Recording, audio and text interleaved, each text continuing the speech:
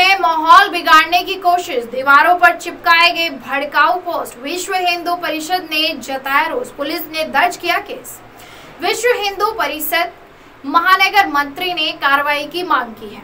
बता दें कि विश्व हिंदू परिषद महानगर मंत्री एडवोकेट अनु शर्मा का आरोप है कि मुस्लिम समाज के लोगों द्वारा शेखपुरा कदीम में माहौल खराब करने के उद्देश्य से कुछ लोगों द्वारा इकट्ठा होकर नुपुर शर्मा को गिरफ़्तार करने जैसे भड़काऊ पोस्टर गाँव में दीवारों और बिजली के खंभों पर चिपकाए गए। एडवोकेट अनुज शर्मा ने ये भी आरोप लगाया कि जुमे की नमाज़ के समय ऐसे माहौल खराब करने को लेकर ये पोस्टर चिपकाए गए हैं।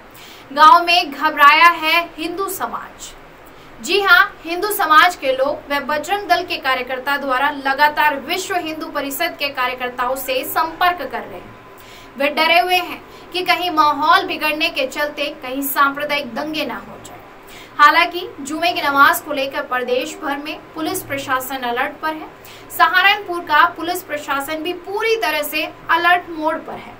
शेखपुरा कदीम में गाँव का माहौल खराब करने के उद्देश्य से गाँव के भीतर दीवारों पर भड़काऊ पोस्टर चिपकाने के संबंध में विश्व हिंदू परिषद के प्रतिनिधि मंडल ने शेखपुरा कदीम चौकी में पहुंचकर मामले के संबंध में तहरीर दी और उचित कार्यवाही कर दंगइयों की गिरफ्तारी की मांग की। देखिए अपने विमल पाल जी जो अपने विश्वकर्मा प्रखंड के मंत्री हैं, उनके द्वारा और ग्राम समाज के लोगों द्वारा बहुत से फ़ोन कॉल आए और मुस्लिम समाज मुस्लिम समाज द्वारा बीती रात एक बैठक करी गई और बैठक होने के बाद उन्होंने खासकर अपने जो बजरंग दल के कार्यकर्ता वहाँ के रहने वाले हैं, जो अपने हिंदू समाज है, उनके घर के बाहर पोस्टर लगाया गया और माहौल खराब करने के लिए आज जुम्मे का दिन इन्होंने चिन्हित किया और इसको देखते हुए पूरे हिंदू समाज में आक्रोश है और पुलिस प्रशासन को हमारे द्वारा अवगत करा दिया गया है।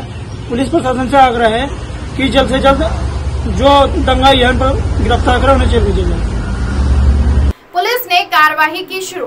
जब इस संबंध में थाना एसएचओ से संपर्क किया गया तो उन्होंने बताया कि अज्ञात व्यक्तियों द्वारा किसी विशेष धर्म के लोगों के घर के बाहर ये पोस्टर नहीं चिपकाए गए, बल्कि दीवार और बिजली के खम्भों पर भड़काऊ पोस्टर चिपकाए गए, जिसके संबंध में अज्ञात व्यक्तियों के खिलाफ तहरीर दी गई है।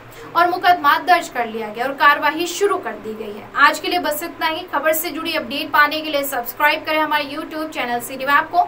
अगर आप भी कोई खबर या सूचना हम तक पहुंचाना चाहते हैं, हमारे व्हाट्सएप नंबर एट पर हमें भेज सकते हैं।